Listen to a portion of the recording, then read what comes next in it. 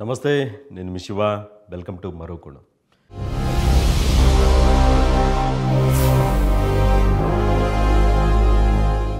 ఎవరైనా సరే మీరైనా నేనైనా ఆంధ్రప్రదేశ్కి కొత్త కొత్త పరిశ్రమలు రావాలి ఆంధ్రప్రదేశ్కి పెట్టుబడులు రావాలి ఆంధ్రప్రదేశ్ మిగిలిన రాష్ట్రాలతో సమానంగా అంతకంటే ఎక్కువగా అభివృద్ధి చెందాలనే కోరుకుంటాం. ఎవ్వరు కూడా ఆంధ్రప్రదేశ్కి పరిశ్రమలు వస్తుంటేనో పెట్టుబడులు వస్తుంటేనో ఎవ్వరు మోకాలంటరు ఎవ్వరు వ్యతిరేకత చెప్పరు. కాకపోతే ప్రభుత్వం ఒక అడుగు ముందుకు వేసేటప్పుడు పరిశ్రమల స్థాపనలో కానీ పెట్టుబడులు ఆకర్షించడంలో కానీ ఒకటికి రెండు సార్లు ఆలోచించుకొని ముందడుగు వేస్తే మంచిదేమో అనిపిస్తుంది. ఎందుకంటే కడప స్టీల్ ప్లాంట్ రాష్ట్ర ప్రభుత్వం ఎంతో ప్రతిష్టాత్మకంగా తీసుకుంది. రాయలసీమ ప్రాంత వాసులతో పాటు ఆంధ్రప్రదేశ్ ప్రజలు అన్ని ప్రాంతాల ప్రజలు కూడా ఆహ్వానించారు స్వాగతించారు. కడపలో స్టీల్ ప్లాంట్ ఏర్పాటు మంచిదే అని. కానీ కడప స్టీల్ ప్లాంట్ ఇప్పుడు చిక్కులొచ్చి పడ్డాయి. మరి ఇది రాష్ట్ర ప్రభుత్వం ముందు చూపు లేఖనో మరి ఇతర కారణాలు కూడా కావచ్చు.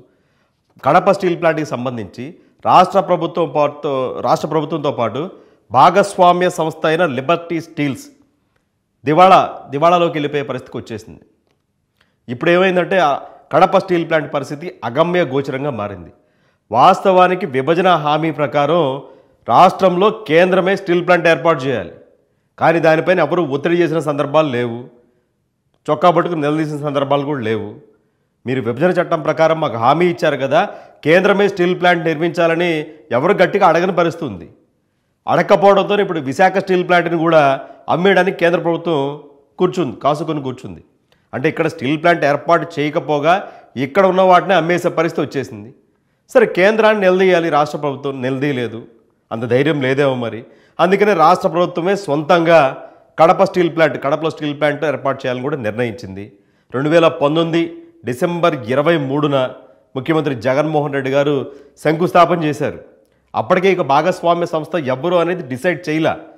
గత నెలలోనే క్యాబినెట్ ఇరవై మూడో తారీఖున ఈ లిబర్టీ స్టీల్స్ ఏదైతే ఉందో దానితో భాగస్వామిగా ఉండడానికి ఆ ఒప్పందానికి ఆమోదం తెలిపింది. జగన్మోహన్ రెడ్డి గారు శంకుస్థాపనప్పుడు ప్రకటించారు. ఒక మూడేళ్ళలో మొత్తం కొంత తొలిదశ మేము పూర్తి చేస్తాం. దాదాపు ముప్పై లక్షల టన్నుల వార్షిక సామర్థ్యంతో ఈ స్టీల్ ప్లాంట్ ఏర్పాటు చేయబోతున్నాం. ఇరవై ఐదు వేల మందికి ప్రత్యక్షంగా పరోక్షంగా ఉద్యోగాలు ఉపాధి దొరుకుతుందని కూడా ఆయన ప్రకటించారు. దాదాపు మూడు వేల రెండు వందల డెబ్బై ఐదు వేల ఎకరాల్ని ఈ స్టీల్ ప్లాంట్ ఏర్పాటు కోసం కూడా కేటాయించారు ఆ సంస్థ కోసం.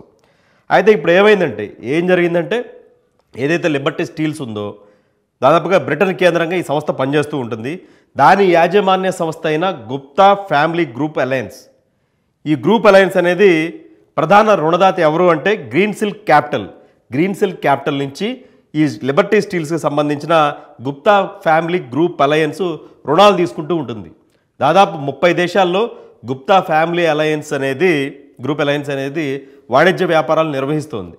అయితే ఇప్పుడు ఏమైందంటే ఎవరైతే ఇప్పుడు కడప స్టీల్ ప్లాంట్లో పెట్టుబడులు పెట్టడానికి అంటే తొలి దశలో ఒక పదివేల కోట్ల రూపాయలు భాగస్వామిగా రెండో దశలో ఒక ఆరు వేల కోట్ల రూపాయలు పెట్టుబడి పెట్టడానికి వచ్చింది ఈ లిబర్టీ స్టీల్స్ అలాగే యాజమాన్య సంస్థ Gupta family group alliance.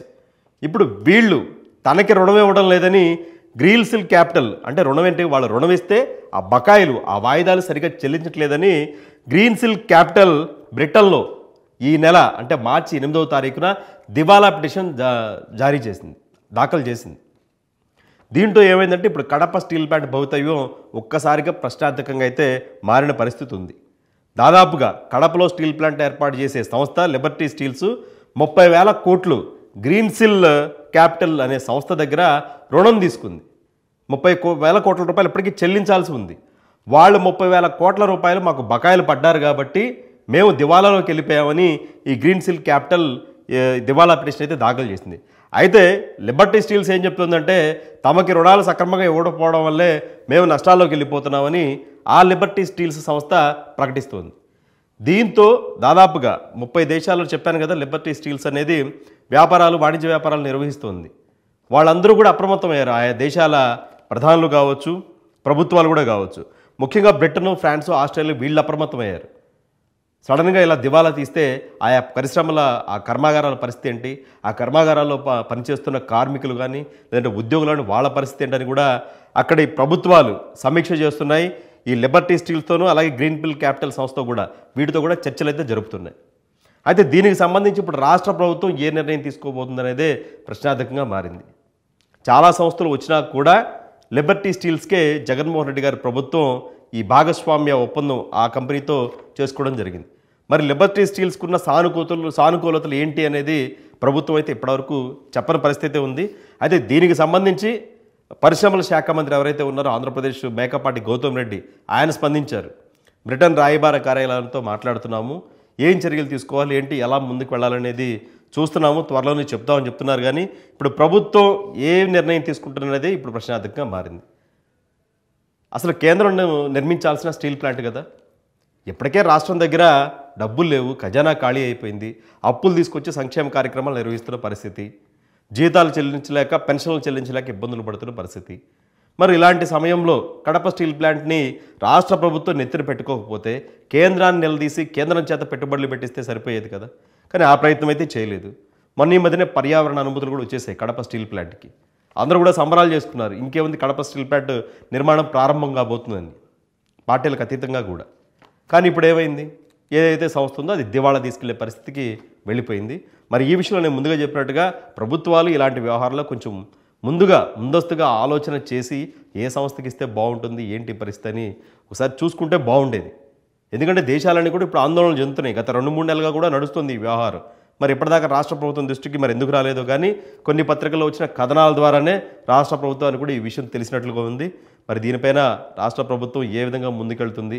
Kadapa steel plant ఆ భాగస్వామి ఒప్పందం మరో కంపెనీతో ఏమైనా చేసుకుంటుందా? మరి రాష్ట్ర ప్రభుత్వమే నిర్వహిస్తుందా? ఏం జరుగుతుంది అనేది కొద్ది రోజులైతే మనకు క్లారిటీ వస్తుంది. ఈ వీడియో పైన మీ అభిప్రాయాలను కమెంట్ రూపంలో తెలియచేయండి.